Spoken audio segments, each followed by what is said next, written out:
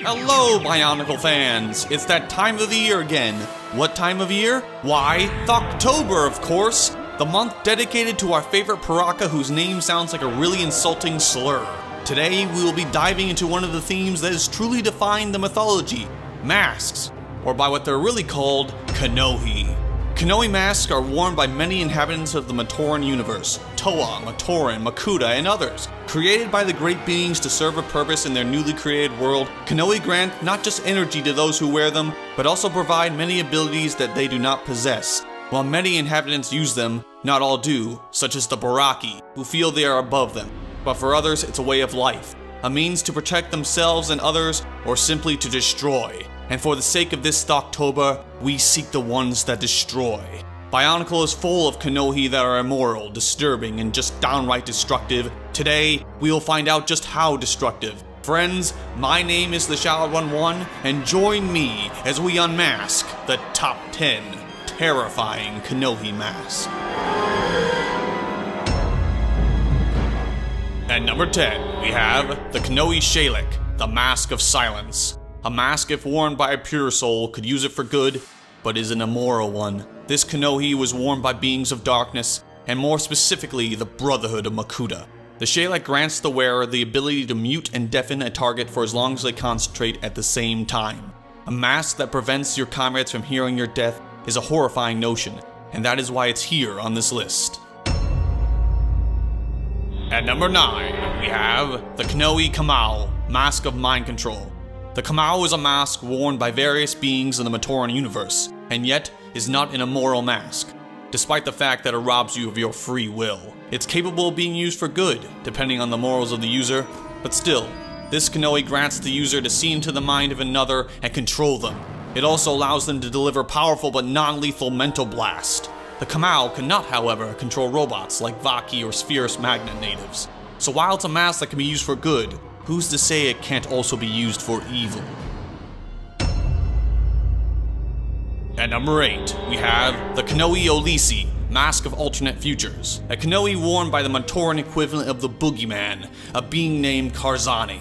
The one and only Olisi was created by the Great Beings and used by Karzahni his entire life. It appeared to be composed of four different masks passed together, a haunting image the mask allowed its user to project a mental illusion of an alternate timeline or possible future into one or multiple beings' minds. It was used by the insane dictator to deprive those targeted by it of hope, such as when it showed Jaller what would have happened had he not acted to save Takua in the search for the Seventh Toa, or showed Teridax's fate had Mata Nui awakened. Any Kanohi that can make Makuta scream is absolutely deserving of its place on this list. At number 7, we have the Kanohi Felnas, the Mask of Disruption. Disruptive indeed. The Felnas is another immoral Kanohi because of the Makuta's rebellion. Starting to see a trend yet? This mask allows its user to cause any one natural active power to go out of control, effectively making the target to destroy themselves, as evidenced when Makuta Gorast used her mask to cause Icarax's teleportation power to go haywire and allowing him to be killed. Good news is, this mask can only be used if the user is touching their target. So, word to the wise, don't be near anyone wearing this Kanohi.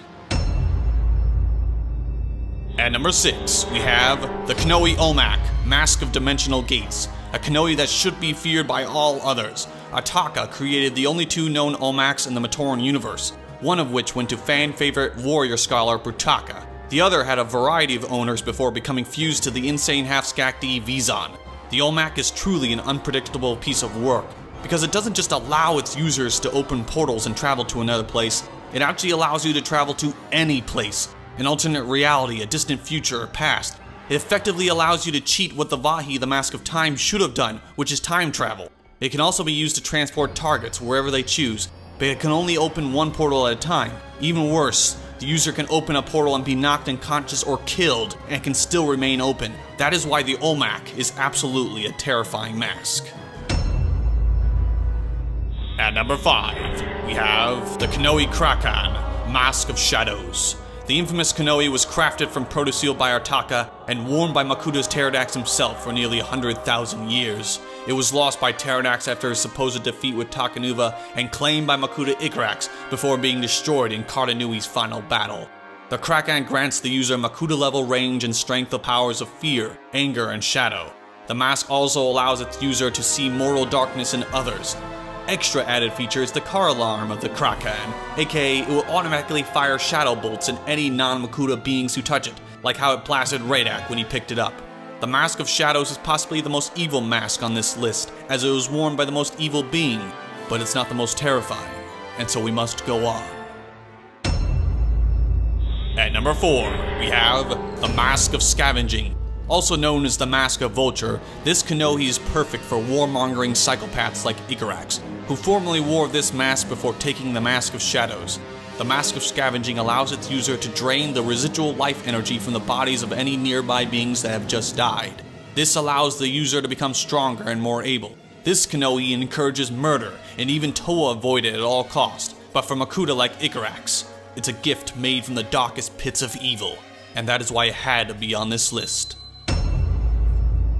At number 3, we have the Kanohi Avsa, Mask of Hunger. Are you hungry? Ever wanted to just absorb your food from a distance, or worse yet, turn your enemy into a being of mass destruction like yourself? Then the Avsa is for you! This Kanohi allows its user to drain light, energy, or positive emotions from its target at a distance, even to the point that it could kill them. The user conveniently absorbs said energy. This mask could be used to transform individuals into beings of darkness, like Shadow Matoran. The Makuta called Vamprah used his Avsa with striking effect and was his most powerful weapon in the war in Karda Nui, Add that to the fact that Vamprah was literally a vampire with a mask that could suck your vitals, and it didn't need anything more to join this list. At number 2, we have the Kanohi Tryna, Mask of Reanimation. Zombies! Yes! A mask that can literally create an army of the undead! The Mask of Reanimation allows its user to grant artificial life to dead bodies and control them for as long as they maintain concentration. The amount of concentration to keep the corpses animated increases with the number of bodies controlled, Unlike many masks in the Matoran universe, the Tryna can reanimate both biomechanical beings and organic beings from Spherus Magna. Toa would not normally wear this rare Kanohi because they consider it immoral, but the Kanohi Ignika gave it to Matoro to test him, but even he found its power disturbing and only used it when he had no other choice. A mask that can create zombies, how could it not be on this list? At number 1, we have the Kanohi Ignika, Mask of Death. I mean life. I mean Mask of Life. But mostly death, because let's be honest, all this mask does is cause death. The Ignika is by far the most unpredictable mask in the entire list because it can literally do anything, except resurrect on its own, but even that's debatable, aka Hydraxon.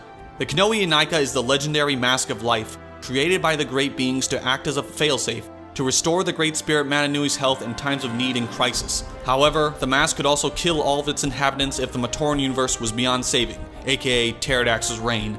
The Ignika was a living mask with a simple cognitive mind. It also has so many abilities and powers that there are too many to count.